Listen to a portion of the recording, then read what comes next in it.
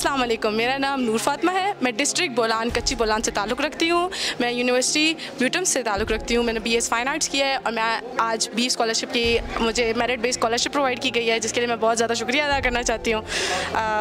हुकूमत बलूचिस्तान का बीफ की तमाम मैनेजमेंट का, ये अच्छा इवेंट उन्होंने ऑर्गेनाइज़ किया, हमें फैसिलिटेट किया सर्टिफिकेट्स प्रोवाइड किए बीफ की स्कॉलरशिप और चेक आराम से प्रोवाइड किया। तो जजाकला हुकूमत बलूचिस्तान का बहुत बहुत बहुत शुक्रिया।